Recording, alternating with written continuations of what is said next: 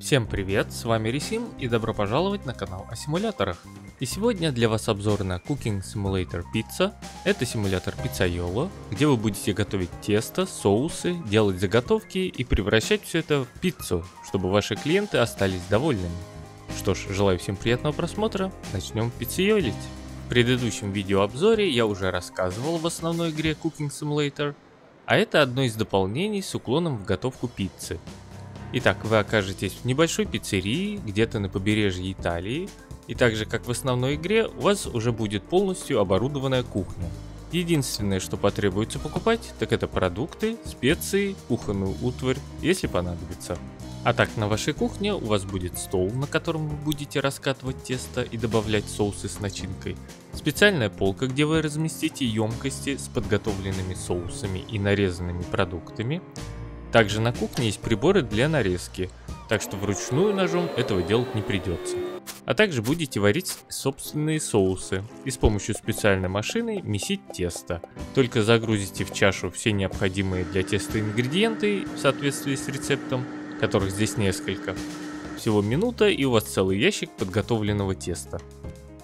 А еще у вас есть погреб, где находятся все ваши продукты, а их довольно много чтобы приготовить пиццу на любой вкус. А самое главное это печь. В нее вам нужно будет подбрасывать дрова для поддержания подходящей температуры. А в печи можно разместить сразу две пиццы. И сейчас я покажу весь процесс готовки на примере сырной пиццы. Берем подготовленное тесто, в данном случае неаполитанское, раскатываем его на столе и далее следуем рецепту. Берем и распределяем соус по всей поверхности. Я делаю это круговыми движениями. Далее нужно добавить различные сыры.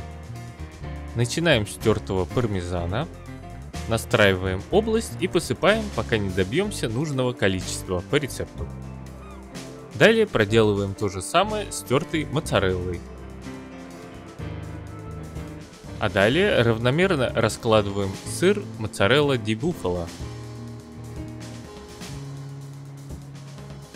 И последний штрих распределяем листики базилика. Отправляем нашу пиццу в печь и ждем, пока она запечется.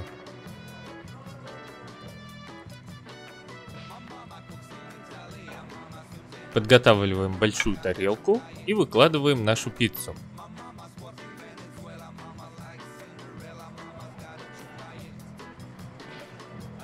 Отправляем клиенту и получаем свою заслуженную награду и оценки.